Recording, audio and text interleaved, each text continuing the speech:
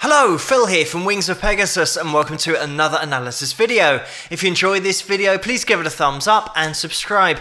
On the agenda tonight, we're going back to 2014. We're going to be taking a look at Steve'n'Seagulls and we're going to be looking at their version of Thunderstruck by ACDC. So let's get the guys up on screen and see how they get on.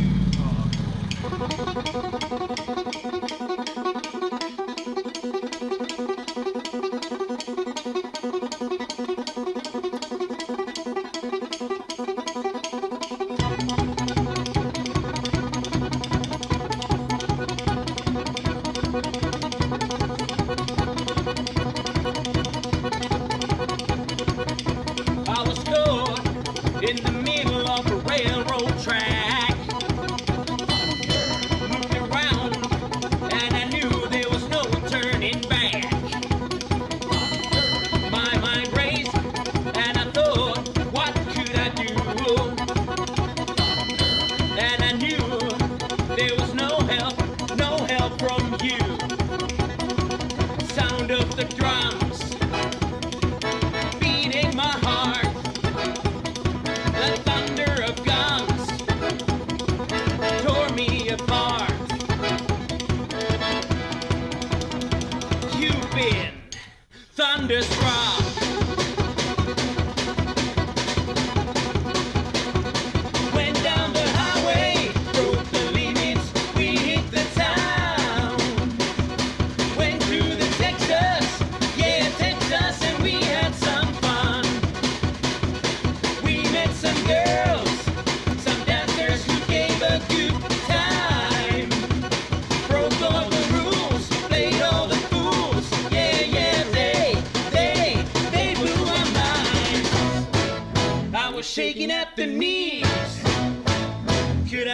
I come again, please?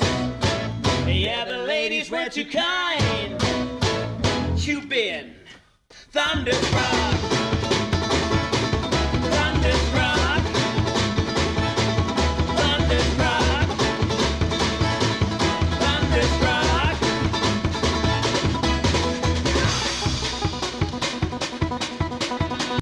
I'm just going to jump in here. We've gone full bluegrass with this version of Thunderstruck. Just the start of the video, rocking up on a lawnmower with your accordion. It's such a cool start. It's really well shot, the video as a whole, and it's a totally live performance, which sometimes on YouTube you will see the video element of it, but it has obviously been recorded professionally in a studio and mixed, and there's a lot of post production on it. But here it's just straight up live, and it's great to see and hear the tightness of the band as a whole, but also the technical ability, because there is so much going on here across the board. Obviously, people are going to be focused on the riff and the banjo playing. It's exactly the same technique that you'll find on electric guitar with the alternate picking.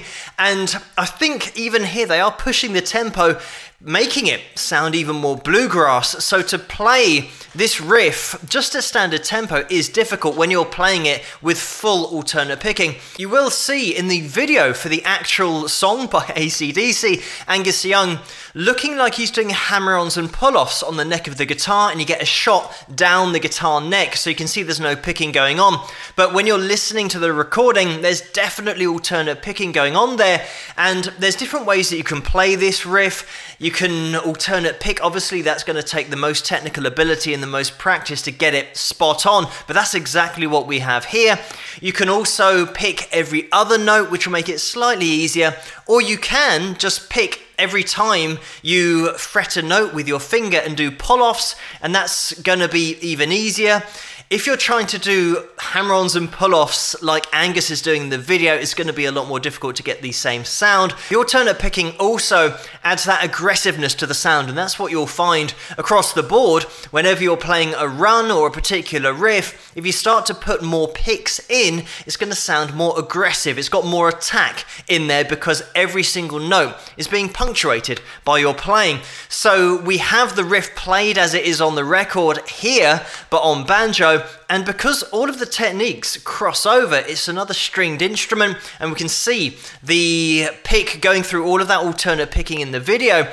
You get banjo players that are great guitarists and vice versa. Just to throw out there as well, these guys are from Finland, so they're performing it in English, but there's no real strong accent in there, so it doesn't detract at all. And the vocals, just putting those under the spotlight because we are an octave below that original vocal by Brian Johnson.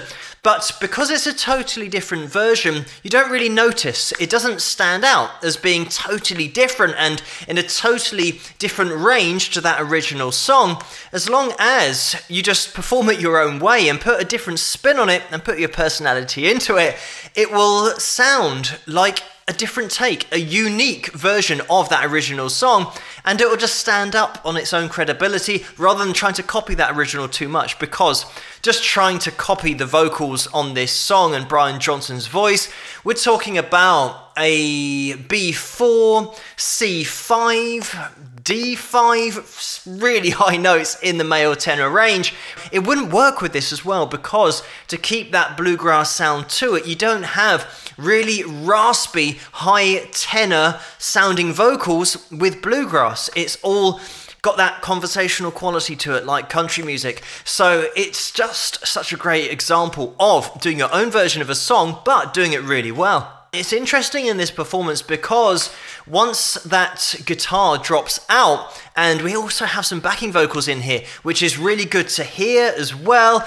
It's spot on vocally with the backing vocals, but as soon as that riff drops out, the accordion takes over and just punches in that rhythm. And it's so well done that the guitar, the banjo in this case, doesn't seemingly drop out. And that's something that in the original composition, that guitar is always in there in the mix. Angus's picking is brought down in the mix when Malcolm comes in with his solid rhythm but it's always somewhere there in the mix. So it's great here, just the arrangement as well. The other thing that we've got here is the upright bass, and unfortunately, we don't get to hear clearly what's going on, but that's just the nature of the beast when you're recording something totally live, and it is relatively off the cuff from a recording point of view because we haven't got mics all over the place here and you certainly would have on the upright bass if you were doing a professional recording of it so it's even more impressive considering that they've just set up a few mics out of shop to pick up the ambient sound and don't have everything mic'd up individually but then we get such a great sound overall just from the guys being so well rehearsed and so tight something that i want to mention about this performance as well that you might not have noticed unless you know what key the song's in. The anvil is tuned to B. And when I say it's tuned to B, I don't know how you tune an anvil, but it just happens to be in the exact right spot, pitch wise, when you hit it to go along with this song, which the original is on that open B string with the opening riff. And I mentioned about the B4, the C5, and the D5, all of those vocal notes that are in there. So it is a perfect anvil for this performance. But let's get back into the video.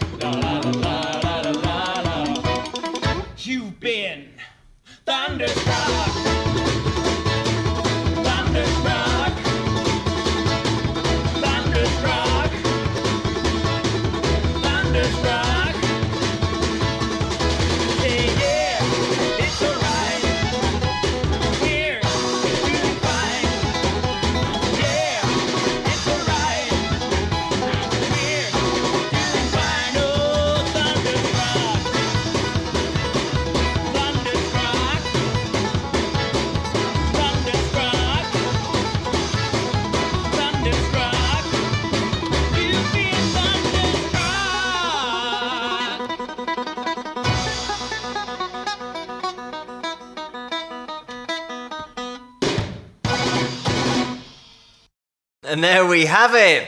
What a great live performance that was. We've also got the mandolin in there, of course. Just to focus on the tempo again, because I said about them pushing the tempo because of the style of music, but also the emphasis on 16th notes, which is something that you will always get in bluegrass and country playing as well. So much alternate picking going on. And by the way, this kind of playing, alternate picking on clean tones and on banjos, was around well before guys started shredding in the 80s all of the techniques were already there. It just so happened that by the 70s and the 80s, distortion pedals were all the rage and they started doing these techniques, but with distortion. So it sounded different, but take all of that distortion off the sound and you've got bluegrass playing. Also, when you're focusing on major scales and especially around G, as you do in bluegrass, you get that happier sound. And as soon as you convert those scales into the minor forms, then you get a more rocky sound, and that's what was happening in the 80s. Exactly the same techniques that were being done on the banjo well earlier were just then being reproduced in minor keys. So all of those picks throughout the song with the riff on the banjo are 16th notes,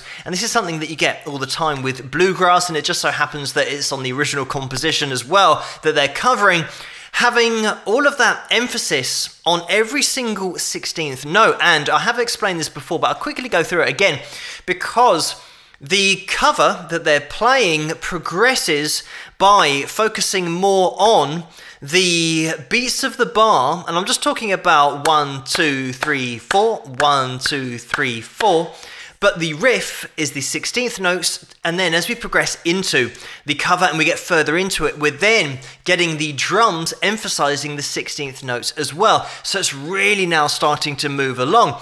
And the 16th notes, if you imagine that we've got this bar of space and we've just fitted four beats into that bar, we've now got to try and fit 16 of those same notes and beats into that bar. So they have to be done so much faster. So I'm just going to hit the table to give you an example. We're going one, two, three, four, one, two, three, four, one, two, three, four, one, two, three, four. The camera's probably shaking and everything because I'm hitting the table, but hopefully you could hear when I'm tapping those faster taps are 16th notes. And in this composition and this performance, we have every single pick of that string is a 16th note. So it's being picked at that speed. And obviously, once you start to push the tempo, that goes even faster. So there is a lot of technique and technical ability required to keep that riff going the whole time, down to those open strings, keeping it clean. Anyone who has played Thunderstruck with all of that alternate picking in there will know you've just got to keep concentrated the whole time. And it is by far an easy song to play on the guitar, even though people will assume it's easy to play because it sounds easy because the guy playing it in the first place, Angus Young, but there is so much technique involved to keep that consistent. I always say on this channel that playing and singing at the same time doubles the difficulty, and we've got that across the board here with the harmony vocals as well. That main riff is being played the same time as providing those harmonies, so all of that alternate picking, all of that technique that I've already mentioned is going on at the same time as a harmony vocal. So doubly impressive stuff there. This is one of those videos that went viral on YouTube and it's had 96 million views at this point when I'm looking at it. But it's because of the technical ability and the arrangement and everything that's in there for a live performance is so impressive because there is such musical integrity with what they're doing, just playing it their own way and putting that bluegrass twist on it. But also the ability at their instruments in order to play and sing and give such a great live performance of Thunderstruck by ACDC. Who would have thought it that you'd get such a great bluegrass rendition of it? But that's what can happen when you get great musicians together and they put their own spin on a classic. And these guys, by the way, are touring and they're touring in Australia and then they go back to Finland and Sweden and then they go back to Australia again. So they're certainly getting in the air miles but spreading around there. And I think they're also playing in Europe and France, I saw, as one of the last dates on the tour. So if you are in Europe, you can check these guys out soon, especially in Finland and Sweden, and then all the way over in Australia. But thank you guys so much for suggesting this video for me to take a look at, and keep those suggestions coming in the comments below. Let me know what you guys think, and if you enjoyed this video, please give it a thumbs up and subscribe, and I'll see you guys at the next one.